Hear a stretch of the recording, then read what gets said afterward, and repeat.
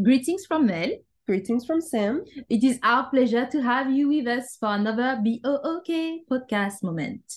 BOK, our book, also known as Building Our Own Knowledge, is a co created cloud for interrogating, finding, making, and sharing experiences and knowledge on our own terms. This podcast is brought to you by the labor of love of book working group members Sim Mendes and Melisandre Varan. The music carrying us through is by book working group member and commissioned artist Samir Saunders.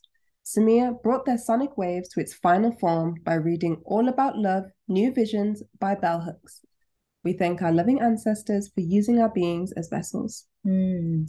We hope you wine or wave with this DIY podcast as much as we do.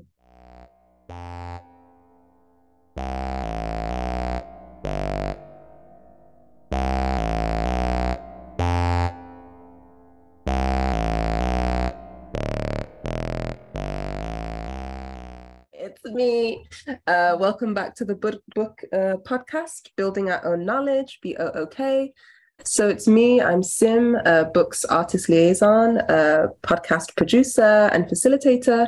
And I'm here with Mel, a books artist curator. And I'm here with Amandine Gay today. Uh, super, super, super excited. Um, so, yeah, so we're just going to jump into intros. Um, Amandine, I'll let you go first. So, can introduce yourself if you know your top three astrological signs um, and also what you care about today. Okay, so morning, afternoon, depending on the person who's listening from where. Uh, so my name is Amandine. Uh, I'm a filmmaker, a writer, uh, an Afro-feminist activist, and also an activist on uh, the issue of adoption, uh, leading to my uh, signs that I don't really know exactly. I know I'm a Libra, but you know, like you need to have like your exact time of death uh, of uh, I was gonna say death. So I'm talking to my therapist this afternoon, so this is gonna be interesting.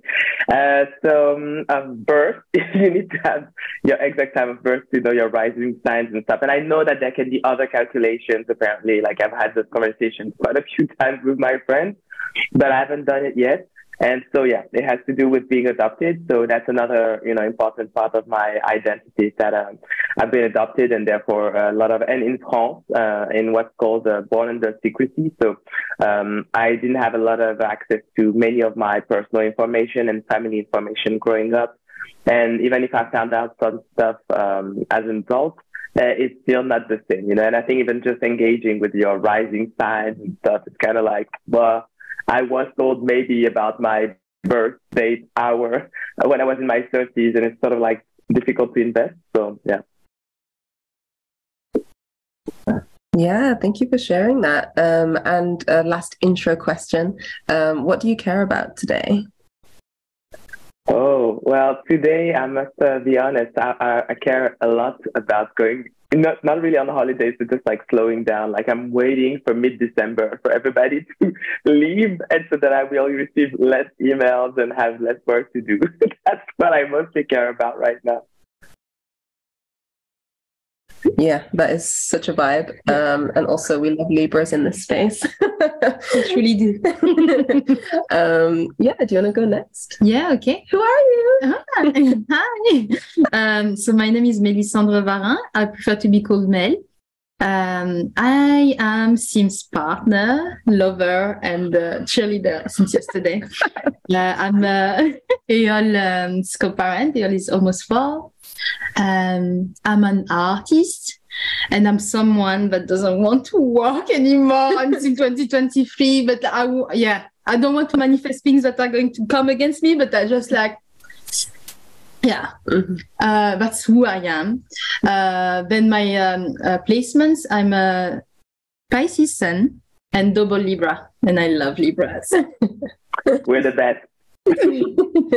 Uh, what do you care about? What today? do I care about today? Today I care about.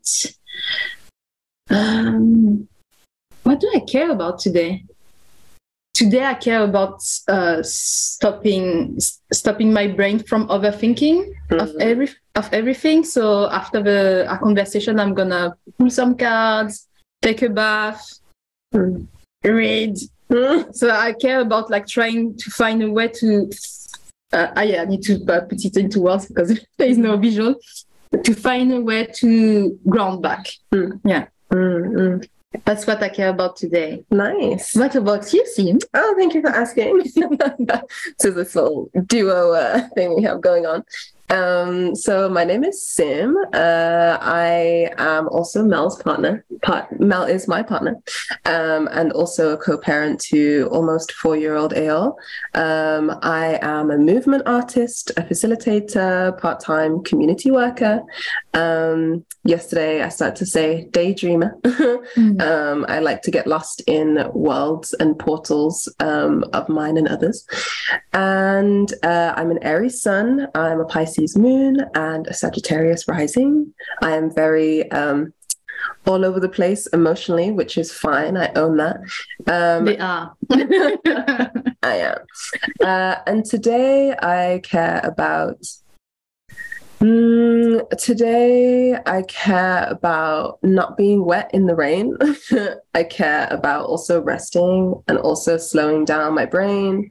Uh, yeah, I think the same that I've been saying for the past week of like, I care about the micro moments of slowing down, just taking things step by step, also slowing down with work. Um, and yeah, not burning out before the end of the year. Mm. so that's fantastic. Mm. Um, yeah, thank you for the intros. Um, so yeah, we can get into the extracts. I feel like I'm gonna let Mel go first. um, All right. they weren't prepared, but uh, it's okay. So uh, today I would like to share with you. Also, I didn't say my intro. Like I'm a big fan of Amandine, so it's like, ah. and I'm glad I'm, I'm glad I'm feeling uh, cold. Uh, like I have a cold. I'm feeling unwell. Otherwise, I would be like. so it's like giving me like some cons- Yeah, like keeping it cool. Yeah, yeah. So I'm gonna share uh, um, writing by Koleka Putuma uh, from a book called Pulo Bu by Coco Come In. I actually never like read it out loud. It's like it's like this. But hello, bye bye, Coco, come in. Yes, super. So this um, extract is called um, this poem actually is called "I saw the best minds of my generation."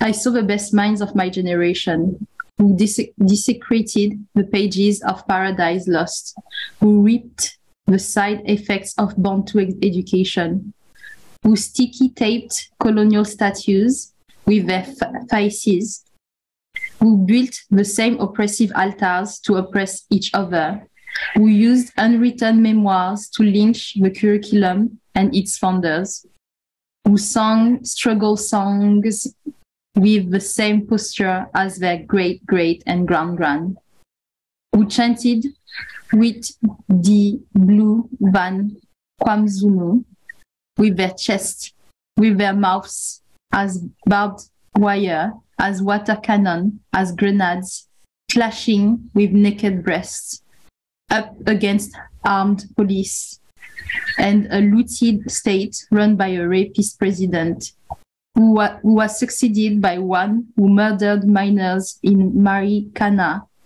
who asked why more often than they asked what. I'm gonna stop here. Shall I read it again? Because uh, yeah, I like to read it twice.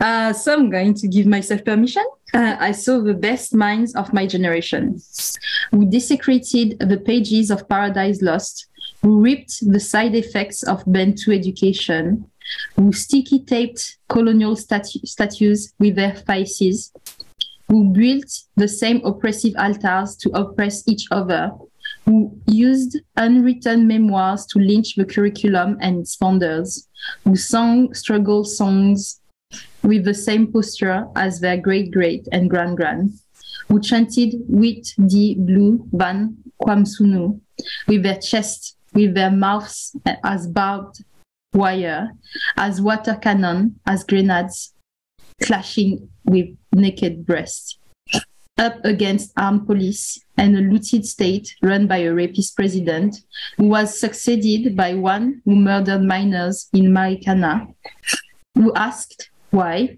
more often than they asked what. Hmm. Yeah, it's a uh, it's the beginning of a poem by Koleka Putuma that is uh, an exceptional uh, being, I suppose, and an exceptional writer. Yeah. Mhm. Nice. Mm. no extra words. Ah, um, I mean, you don't have to. um, What was the line about the the altars? Can I? yeah. Uh, so da, da, da, da, who built the same oppressive altars to oppress each other. Mm, Yeah. yeah. It's also uh, one of the sentences that stayed with me. And also I stopped at the passage where I stopped, who asked why more often than they ask what, uh, Mm, because that uh, is the second one, that uh, mm, also like uh, was deeper to me. mm, Felt, I felt it deeper in me. mm, mm. Mm. Yeah, it's interesting thinking about um, the the use of the word alter as something to oppress and to build to then uh, oppress further. It's really interesting.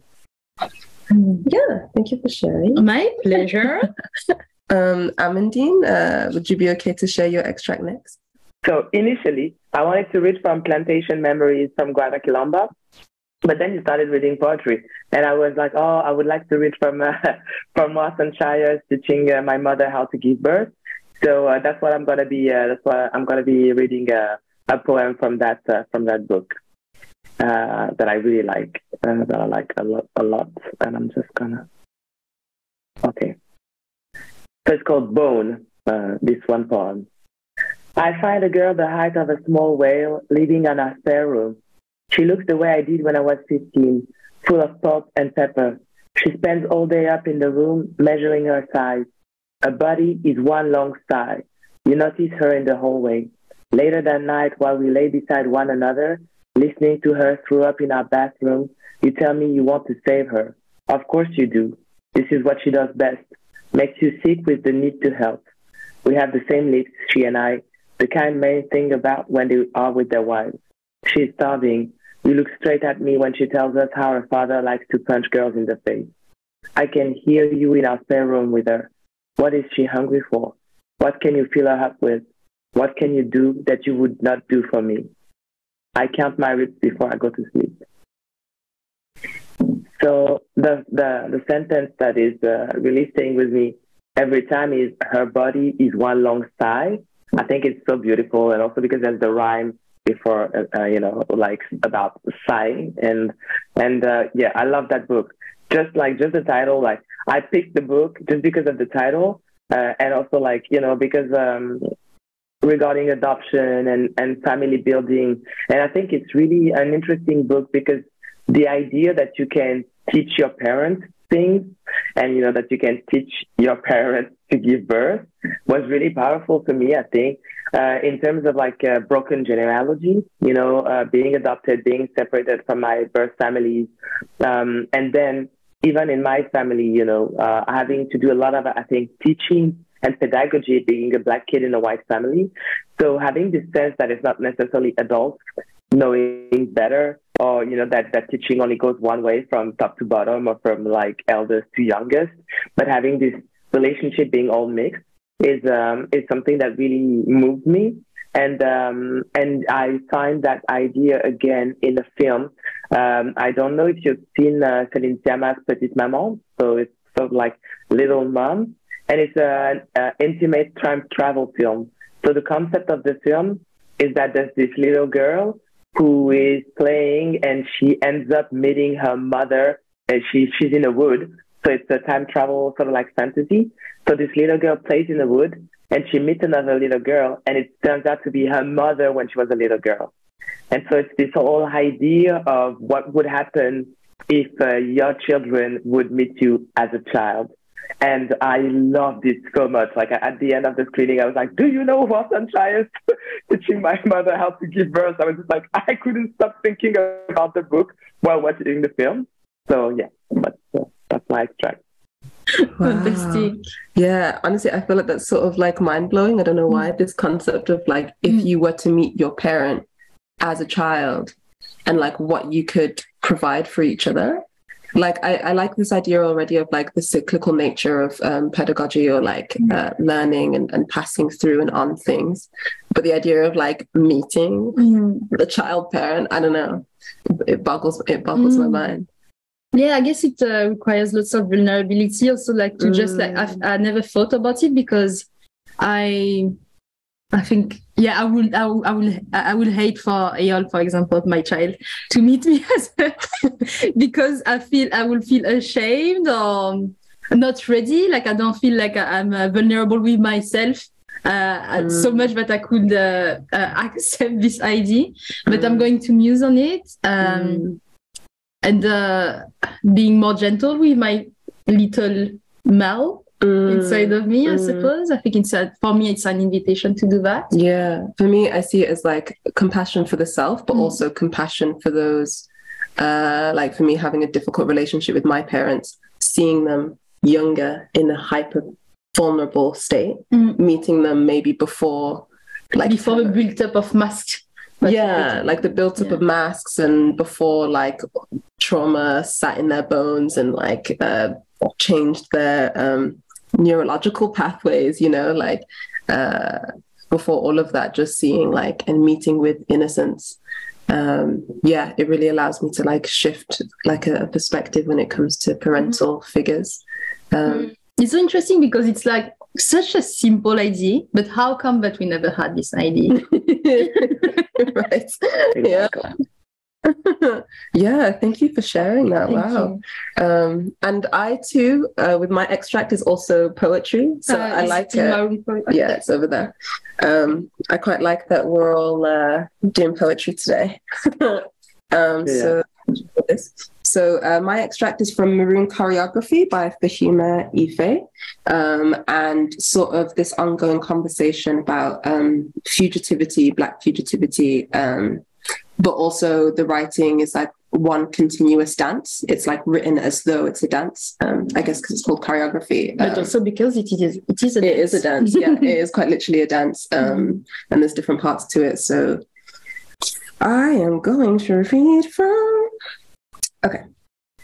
So it reads Earth swallowed and alienated as air or as nothing, insofar as their dearly beloved movement is shadowed, withdrawn, and out of touch. Here they are, nameless body spirit, only not woman, not man, not sex, not gender, not child, not father, not adult, not mother, not daughter, not son, not nephew, not niece, not female, not male, not intersex, not scripted, not pronoun, not name, not label, not capital, not human, not captive, not master, not mastered, not mistress, not misery, not form, abstraction. Yeah, I'll leave it there. Hmm. yeah, I think for me, uh, it's funny because one, this book sort of, I don't know, it holds a lot of sentiment because it's uh, it's a way that we both connected, the way that me and Mal connected. Um, and it's the book that I needed to read at that point, like a year ago, just over a year ago.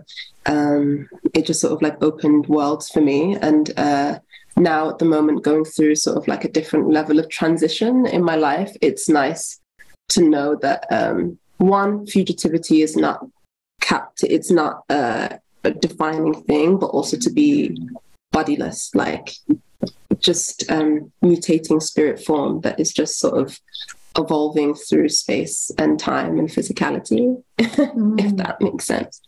Um, so, yeah. Love it. Mhm. And the, yeah, the end, I, I am uh, like for me, I was thinking I am abstraction, the, the right to be uh, abstraction and nothing else Mm, mm. uh, felt very comforting to me just now. Yeah. And I w- also was thinking that uh, it's really interesting how it flows uh, between Amandine's reading and yours. Mm, Amandine's reading plus uh, the mention of the film and yours, mm, because also like with this idea of meeting, allowing uh, uh, little ones to meet us as uh, little ones as well. And uh, and vice and uh, for us as uh, anyway, you got it. That, that um, it's also before all those identities that we sort of like feel that we need to uphold to survive mm, before all those masks uh, were um, fixed, um, greffé Mm. on uh, on us. Mm. It's like when you, the, not uh, not gender, not no, no, no, no, you know, like mm, just like It's like the stripping and stripping and yeah, stripping. yeah, yeah, yeah. Mhm. Yeah. Yeah, to, to me, it's like you know, like I actually, I think what really touched me in both like the book and and then the film that I mentioned, and what echoes what you what you just said, Mel, is that um, the thing of I often like when I meet people, I actually always try to imagine them as children, and I always like wonder if we had been friends when we were children. You know, like I was a I was like a really open child. Like uh, one of the things that my parents were campers. We were camping a lot when I was a kid, and so when they were like putting the tent up, I would go like to the children's square. You know, like there's always like a, a space in the in the camping for children. And I would just like stay posted there, and I would wait for the children to pass, and I'd be like, "Hey, my name is Amandine. Do you want to be my friend? Do you want to play?" and it was just like, you know, and sort of like this image. Um, then a lot of things happen, and I sort of like, you know, exactly what you said. You know, the mask, you sort of like get stripped of this, you know, sort of like this inner nature you have, even though I still do have it, you know, and I'm I'm trying to cultivate it because I think that it's not because like the world is an awful place a lot of the time that I should no longer be who I am at my core because I really feel that I'm still this child being like, hey, do you want to be my friend? Hi, you know, and so um and so yeah, I'm always thinking about that. You know, I'm meeting someone and I'm like, oh, you know, would have they stopped by when I was at the at the playground? You know, would I, you know, what would have been their energy? And quite often, you know, that people I meet and, you know, even my partner, it's like one of those things, we- we've had these conversations many times where I'm like, oh, we would have been such great friends as kids. It would have been so fun meeting as kids, you know, as little kids and just like play and, you know, and um, so, yeah, I, I really like this idea of like being bodiless or sort of like that time doesn't really exist, you know? Mm, yeah, just this constant level of like fluidity. But that's like that's so sweet. I have no idea. I feel like I was such a shy child, but I think if Mm. someone came up to me like, But then it would have been good for us because I would Mm. have been like someone at the playground with you too, but would have just like stalk you I w- from afar. I was a creepy child. and at some point, towards the end of the camping holidays, I would have been like, hey, can I play with you? like a tap on the shoulder, like And maybe you would have sat with me because you would have been shy as well. maybe, maybe. Yeah. yeah but i love that i love this like going back to and thinking about ourselves in this uh yeah non-form uh before these masks before the stripping. And like uh even for me i think this like transition that i'm taking in my life it's like i have to go through medical whatevers to get to where i want to go. But ultimately i have to remind myself it's not about the rigidity of what earth is saying it is. It's like it's I'm transitioning into a bodiless thing and transitioning back into what I've always been, you know. Mm. But well, well, I don't I don't want to like. There's nothing to contradict, but I Mm. think for me, I see it as a, a um, return to your Mm. many forms Yeah. rather than like uh, being formless or Mm. bodiless. Mm. Uh, yeah. Yeah, I think it's it's like multiple, but it's also nothing. It's that Mm, that contradiction of the self. Anyway, Enough about me. now, since we are with you, we would like to ask you the, to, we would like to get to know more of you uh, in the way of the three questions. So the first question is um, is actually a question from a children inspired by a children book uh, I was reading with Eol. So it's who was waiting for you to be born. Yeah, when I read the questions, I was like, "Oh, well, that's a, that's a, an interesting one for me, and a weird one." Um, so yeah, I don't. Um, it's really strange. Like for a long time, I considered that I was sort of like born alone, and um, and I think it has to do with like Western concepts of uh, you know family and uh, and uh, what it means to be born with people. I was relinquished as um, as a newborn by my birth mother. Um, and so for a long time, I considered that I was, you know, born alone. Um, but then, you know, like growing up and thinking a lot about family building and what it meant to be separated at birth, etc., with um, with my birth family, I realized that there was something like this myth, right? That if you're not expected by your birth parents, it's like no one was waiting for you or expecting you. And even that is not entirely true because for me to be born under X, which is sort of like the, the colloquial name for being born under secrecy in France, so there's you know um, different types of adoption. Uh, but when you're born under secrecy, all your um, legal ties with your birth family are cut, and it's sort of like as if you were. I, I call that you know like the sort of like a clean slate children. You know, uh, the narrative around this is that you're born like you're coming from nothing. you know, there was nothing, and then there's your adopted family. And I think that's also why I felt that I was like born alone and that no one was expecting me. But if you really look at the process, uh, birth mothers, they have to meet social workers and they have, you know, like to discuss their case and to be sure that they really want to relinquish the child, etc. So even from their perspective, there is a plan in this. You know, like they are not just, you know, uh, pregnant and then leaving you on doorsteps of a church. But even that, you know, for a long time, I was like, oh, because it's better to than to be left on the on the on the you know on the steps of a church. But even then, there's a plan. Even when you're left on you know on top of like the trash on the day of the pickup of the trash because you're not in the trash. You're where you can be found. You know, if you're put on the steps of the of the church on church, uh, you know, on Sunday, it's so that you can be found. So even in that case, there is a plan. You know, there is a plan for you, and maybe you're not expected as in expected by your specific family that happens to be your birth family, but you were expected. Like, and I was also expected in the mind of my in the mind of my parents, my adoptive parents. You know, they were um, expecting a child. They were waiting. They had been part of like the adoption process for you know months, if not years.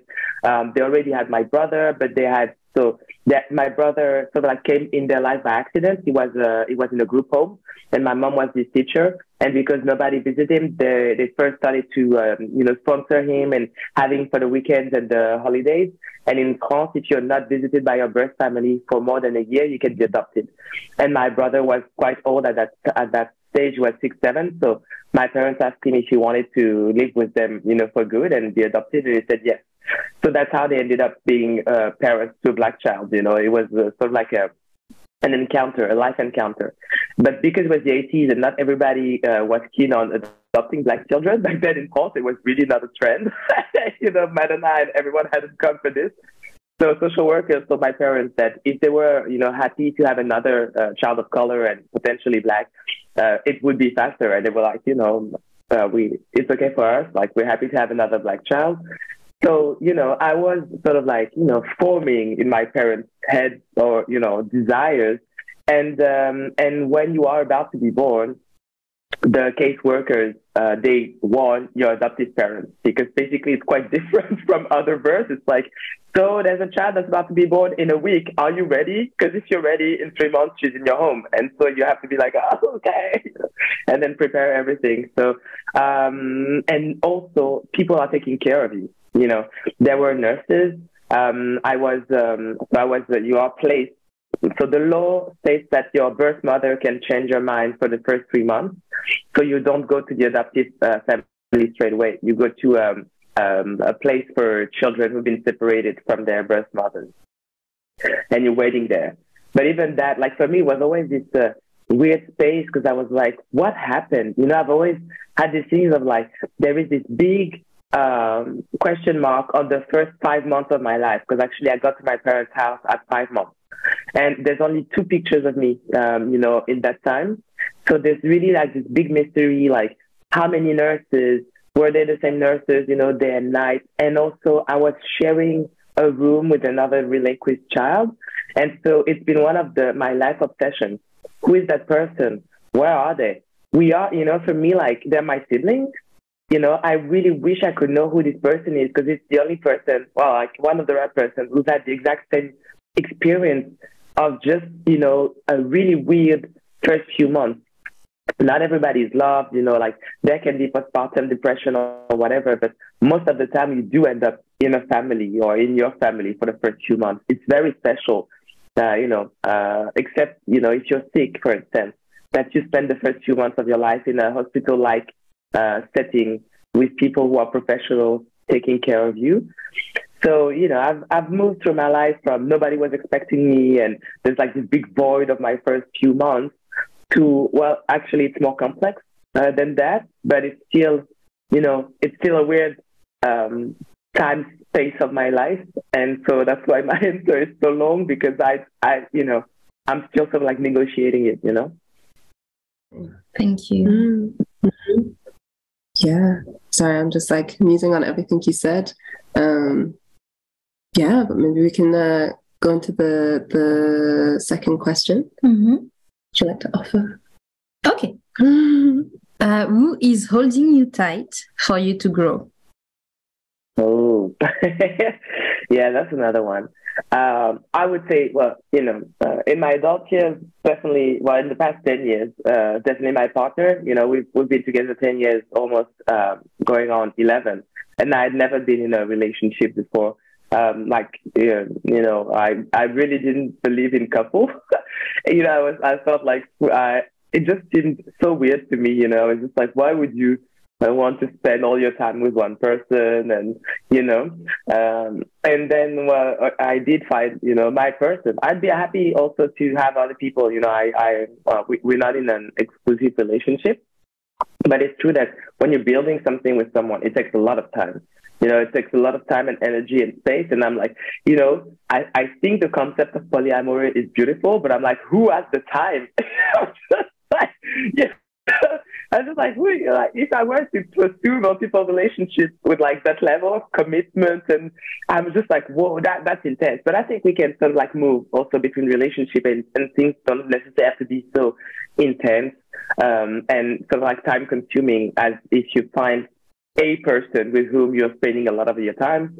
But we work together on top of it. So you know, like there's this thing, and I I really think I've grown because there is something um, in that love that gives you confidence and that, you know, like I was really a sort of like, uh, you know, uh, no future kind of person for a long time. I was convinced I would be dead by the time, you know, I was like 27, 33. I was just like, I, I never had some type of like projection for the future. I was just, um, um, yeah. Um, and at the same time, I was like a, a, a romantic at heart, like I've always loved rom coms, no matter how bad and heteronormative, you know, they are. But I like the idea of like it ends up well and and love is stronger than anything, you know, like well that's again, you know, like you can see of like my child being like, hey, hey ha ha I can't help myself, you know, like I've had to also accept that because sometimes I was like, you know, uh, sometimes I even feel like I would like to be more melancholic because it's sort of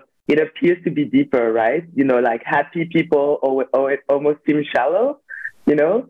And sometimes I'm like, I can, well, I've recently been actually pretty depressed. So I, I know that I can go there. but I was like, you know, sometimes I would even get angry at myself for being like, oh, I'm a bit sad. And then I see, I don't know, a bird or a kid, and I'm like, oh, hello. And then I'm like, oh my God, like, can't I, can't even stay in my melancholy for like five minutes, you know? So, but you know, that's that's who I am. And so, having found this thing that I was hoping I would find one day, you know, like a great love story, um, uh, having someone also like I feel, and that, and I think that's something also that has to do with racism, right? I've always wondered what it was like to grow up with people looking at you, sort of, um, you know, one of the things I hate the most, I think, in anti-blackness is that because we are dehumanized, quite rarely, especially as children, do we have, especially if you, you know, live in majority white spaces, which was my case, schools, etc. Extremely rarely do we have adults who are seeing themselves in us. And you know, this idea of mentorship, this idea of like recognizing someone who's like you, and then this love and this uh, hope that the adult has for you is building you and is making you stronger and is helping you project yourself. Like I had access to that by chance when I was eight because like the father of one of my good friends in my village, he was African American and a professional basketball player. And I started, you know, like squatting this family, being like, hi, I will be sleeping at your house once a week because, you know, I really want to be around you people. And um, and so, uh, and so, you know, this person has been really important in my upbringing. You know, Pierre was really like the first black person who saw me and who was like, you know, and because he was a professional athlete, but he had also been really good at school, like all through my adolescence, it's someone who really pushed me. And I, and I felt the impact of having someone like that who's like, I know you can do it.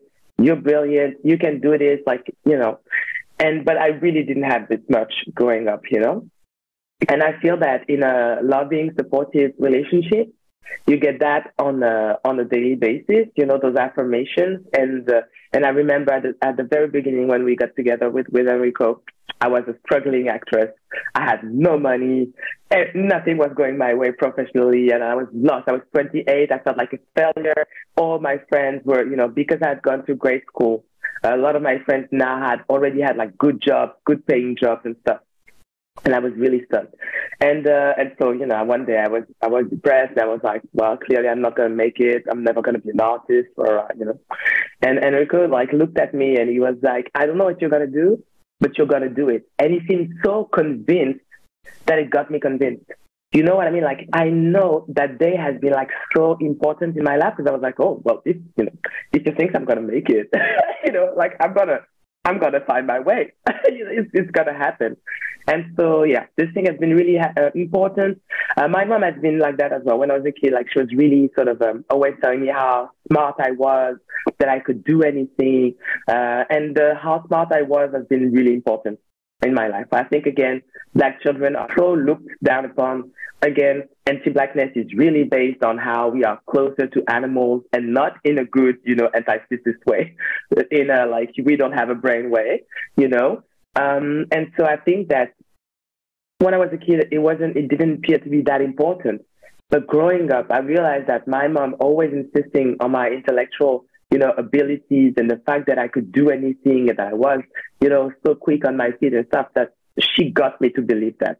And I, I really believe that, you know, um, there is a, a thing to be done, especially with Black children, like in our communities, about doing this job of making sure that they see in our eyes that we mean it and that we believe that they can do it. Because when you get this energy, if it's really authentic, it gives you wings. At least it's given me wings. So I, I feel that when I get that, but it, now it can sort of like be strangers. It's true that on a daily basis, it's really good to have a partner that's affirming you, you know?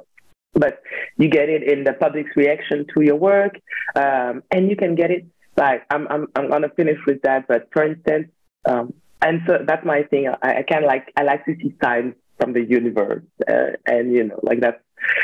So um, two years ago, on December 31st, we got this uh, call from our accountant saying, "Oh, um, I didn't know that you closed the production film company. Um, you know, uh, so we're gonna have to do something about that." And Enrico and I were like, "We didn't close the company," and we find out that this administrative thing had shut down our company without notifying us, and that we had to go on December 31st before they closed their offices at like four and it was 10, you know, to try and get an explanation and try to get our company back.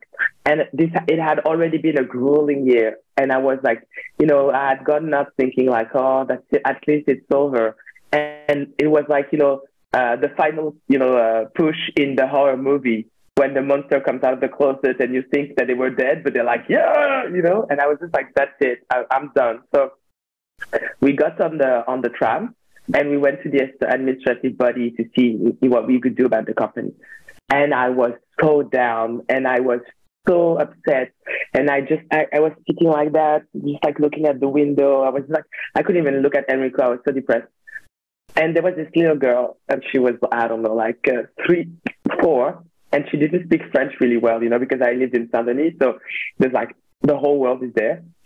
And she had a smaller sibling, like the three year old and she was like playing near me and she really wanted to connect you know? She wanted to connect and talk and and you couldn't really understand what she was saying and stuff. And then at some point i was like do i want to be the adult hassle with touching her that because i'm having a bad day you know uh, then she should not be enjoying herself in the, the tram and i'm not going to talk to her so like it really took a lot out of me, but I was just like, I'm gonna interact with her. And so she was talking to me in French, Arabic, you know, I couldn't understand anything, but she was so happy. But clearly it was December 31st, so she knew she was going to a party.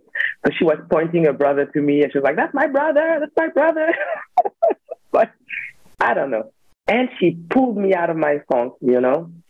By the by the time we got to this administrative body, I was just like, you know what? You know, like it's just like an administrative problem. You know, that's life. You know, like I felt that she was life, you know, taking my hand. I was like, you know, am I going to take this hand and get out of my funk, or I'm going to stay in the thing when I get this opportunity presented to be back into life, right? And um, and then when we got to the administrative body, because I was no longer in my funk, we managed to get through to the guy who was initially super aggressive and stuff. But I don't know, my, my energy had changed. And so we managed to change the energy of this guy, and then that problem was solved. And then we got home and we could like finally have, you know, our end of year celebration. So yeah, it can be the people really close to you. And it can also be, you know, that little girl on the tram. You know, it's just like it's also about spotting those moments and and and you know taking them. Yeah. Oh my gosh. Yeah. Uh, so I think so many things came out of that. Like, um, I mean, first of all, thank you for sharing. That's such a such a sweet story, and also like those nice reminders of like when you're in that funk and then you're you're getting deeper and deeper, deeper like sinking. It's like uh, coming back to this whole aspect of inner child, going back to the child. It's like get your shit together. like, come on, get up. Like, we're gonna do this thing. I love that. And uh, you were talking about uh, this uh, person that like gave you cheered you up back. It's also a reminder that, as you were saying, that uh, in sometimes uh, those bodies uh, and like those administrative steps and so on, they feel so heavy. Mm. Um, because we give them more importance. I mean, like it was really important. Your company was going to be uh, shut down, right? But um, I think like just a reminder that like we oscillating all of the time between fiction and realities, mm. and that our energies are actually uh, the most pa- powerful tool that we that we own, mm. and our, the energies that emanate emanate from our bodies and from ourselves mm. are not necessarily only ours as well.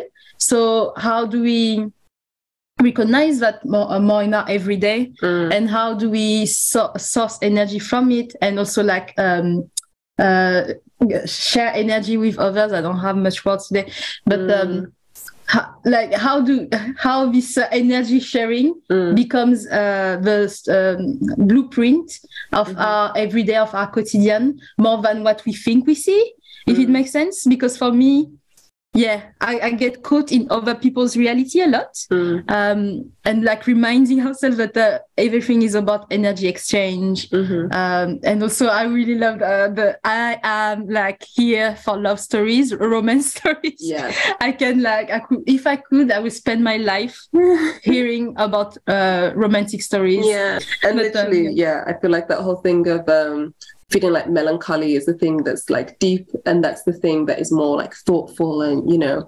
But sometimes like we just have to allow ourselves to feel like joy and happiness. And like you were saying about feeling like you need to know and project yourself into the future because I don't know if I've ever really like uh, thought about it in that way and how we then pass on to future generations that are coming like knowing that like giving them hope and allowing themselves to see themselves in the future it feels like such a small thing that seems obvious but like like you said like it, it took a really long time to like be able to project and see yourself existing in Mm. the literal future Mm, yeah, what, while you were saying that, I was actually like thinking because 27 and 33 years old is also this year, um, uh, this lifetime where uh, the Saturn return is that you gonna- Yeah, no, no, I wasn't going Oh. to say that, but uh, actually, yeah. Oh. But also, like lots of uh, big uh, star uh, died when they were 33 or 27 years old. Mm. Um, so I was, yeah, I, I, uh, I don't know, like for me, it was interesting in, terms of number. And I, I was also reflecting on the fact that I always thought that uh, of myself as a 30 years old person.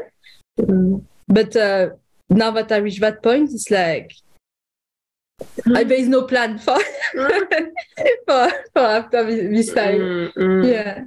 Yeah. But yeah, um, as a final question, last question, uh, how to create loving environments in the arts too? I also thought, you know, when I read it, I thought, wow, that's interesting because I don't know. I mean, what I would say is that um, if you think of art as, you know, like an industry, like for me now it's an industry, right? Uh, so I had my production company in France. Now we moved to Canada. We've just started another production company here. Um, I think, you know, it's sort of like I'm, I'm really torn in the conversations around, you know, safe spaces and, and creating loving spaces, loving environment or, um, you know, how can you get loving kindness to emerge in violent environments? You know, like I, you know, my sort of like automatic answer was like, you cannot expect academia, the art industries, or whatever space that is, you know, um, um, inhabited by capitalism, uh, histories of violences, patriarchy, etc. Like, there's no amount of love that we're going to bring into them and that's gonna turn these places into safe spaces. I'm the dragon, call me Dracula as I sink these fangs in your jugular,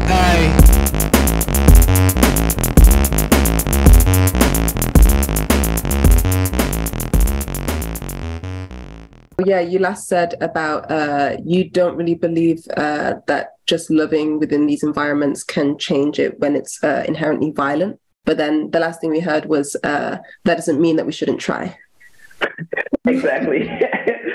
so yeah, I think yeah, what what what worries me when when people are sort of like trying to promise that they can create safe spaces. Like I would never sort of like take this responsibility you know, um, I, I, would always, I, would rather what we do, like in the film industry or whatever, which are guidelines, like, you know, things that will not be tolerated on set, or that you are, uh, that if you are part of this organization, then you agree that sexual harassment, rah, rah, you know, is not acceptable.